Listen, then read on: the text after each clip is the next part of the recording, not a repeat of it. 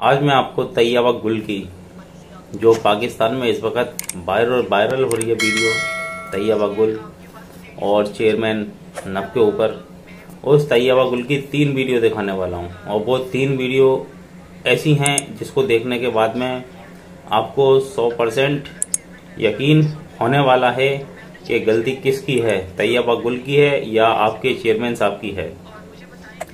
तो पहली वीडियो तो ये है तैयबा गुल चेयरमैन साहब से किसिंग कराती है, और कैमरे को हाथ में लेके जाती है, और सीढ़ियों पर से निकल के जाती है। दूसरी वीडियो ये है, सीढ़ियों पर से निकल के जाती है कैमरे को पर्स में लेके जाती है, और मुस्कुराती हुई जाती है।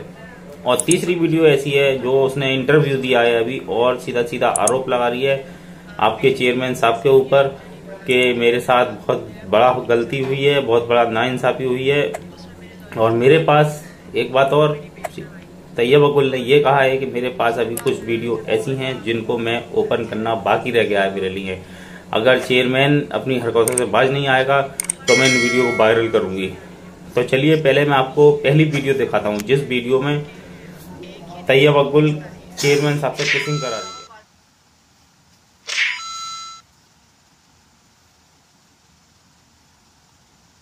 आपने ये पहली वीडियो देखी, अब मैं आपको दूसरी वीडियो दिखाऊँगा। दूसरी वीडियो देखिए किस तरीके से मुस्कुराती हुई जा रही है।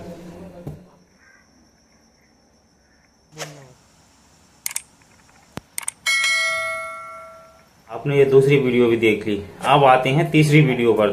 तो तीसरी वीडियो दिखाने से पहले मैं आपसे कुछ बात कहना चाहता हूँ। औरत औरत वो चीज़ है जो बड़ी बड़ी बड़ी बड़ी हस्तियों को ज़मीन पर लाके गिरा दिया जिसने। इतिहास गवाह है दोस्तों, इतिहास गवाह इस औरत के चक्कर में, इस औरत के पीछे बड़ी बड़ी हस्तियाँ ज़मीन में मिट गई तख्तो ताज ज़मीन में मिट गए।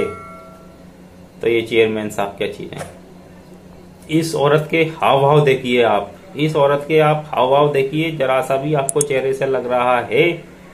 क्या इसकी साजिश निकली हुई आपको जरा सी भी? इस वीडियो को दोस्तों इतना ज़्यादा से ज़्यादा शेयर करना, इतना ज़्यादा से ज़्यादा शेयर करना, ताकि इस औरत का चेहरा बेनकाब हो सके और सबको सच्चाई पता चल सके। तो चलिए मैं आपको तीसरी वीडियो भी दिखा देता हूँ, इसका इंटरव्यू है, उसमें इसने क्या क्या है। क्योंकि मेरे से आप इंतकाम ले रहे थे, इसलिए आपके पास लेडीज़ नहीं बची थी, या मैं कोई बहुत बड़ी दहशत गर्द थी, कोई मैंने मुल्क को बहुत बड़ा नुकसान किया था। अगर चेयरमैन नैब साहब ये सुन रहे हैं तो मैं उन्हें चैलेंज करती हूँ कि आए मेरे सामने बैठे, मेरे से टॉक करें और मुझे बताएँ कि ये वीडियोस ये ऑडियोज मन घड़त हैं फेक हैं या ओरिजिनल हैं। और फिर मैं उनको उनको बाकी के उनके पोल खोलूँगी। मेरे पास और बहुत सा मवाद है, बहुत सी वीडियोस हैं, जो मैंने अभी तक ओपन नहीं की तो इसके बाद, अभी जब मैं दो तारीख को 16 जनवरी को मैं अरेस्ट हुई हूँ, दो मई को मेरी बेल हुई है। कैसे हुई है, ये मुझे नहीं पता, क्योंकि नैब तो नहीं चाह रही थी कि मेरी बेल हो। उसमें मेरे लॉयर्स का हाथ है कि उन्होंने मेरी बेल करवाई। और, उसके बाद, जब मैं बाहर आ गई हूँ तो हेरसमेंट का सिलसिला, मुझे टीज़ करने का मुझे फॉलो करने का, मुझे हर तरह से तंग करने का सिलसिला जारी है।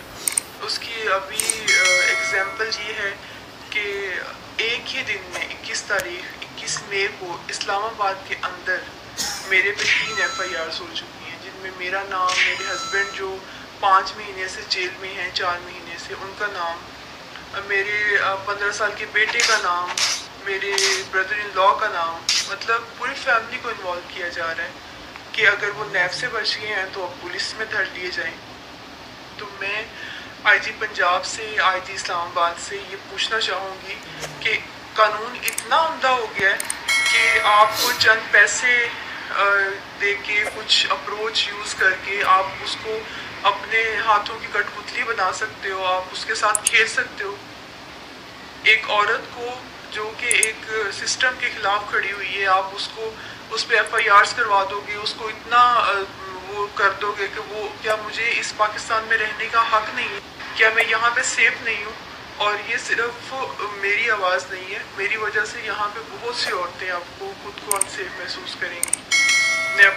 मैं इमरान खान साहब से ऑनरेबल प्राइम मिनिस्टर साहब से ये कहना चाहूँगी कि इसका नोटिस लें। मैं ये दोस्तों आपने ये तीसरी वीडियो भी देख ली। सबसे पहले तो आप इसके चेहरे को देखिए। इसके चेहरे से जरा सा भी नहीं लग रहा, कहीं से भी, के जे जरा सी भी। किसी अच्छी फैमिली या किसी अच्छे घराने से, अगर ये किसी अच्छी फैमिली या किसी अच्छे घराने से होती तो ये ऐसी गलती, ऐसी साजिश बिल्कुल भी नहीं करती। अगर ये बिगड़ी हुई भी होती, अरे बिगड़ी हुई औरत भी, एक मैं क्या करूँ, बेशिया या रंडी भी अगर होती है तो वो भी ऐसी हरकत करने से पहले सौ दफे सोच लेती है उसकी भी इज़्ज़त होती है। ये कितनी गिरी हुई है जो इसने इतनी नीच हरकत करी है? और इस तरीके से चेयरमैन की वीडियो बना के अपने मोबाइल में रख रही है, इसका क्या मकसद था? अभी वो राज खुलने वाले हैं दोस्तों, और पता नहीं अभी जिन्हें कौन कौन से राज आएँगे। वीडियो को आप ज़्यादा से शेयर करना लाइक करना और चैनल को सब्सक्राइब करके घंटे वाला बटन दबा देना। ऐसे ही फिर कोई चेहरा बेनकाब करने के लिए मैं फिर आऊँगा।